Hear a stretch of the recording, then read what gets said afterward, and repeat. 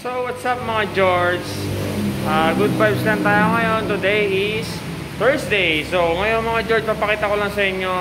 Nakita niyo na ba ang pinakamaangas na busina ng NMAX? So, kung di niyo pa nakikita, sigurado mapapatabi yung mga makakarinig nito. So, ito papakita ko sa inyo kung ano yung pinakamaangas na busina ng NMAX mga George. So, yan. NMAX 2020, di ba? Oh. Ito ang pinakamaangas sa busina na nakita ko sa NMAX 2020. Ayan, oh.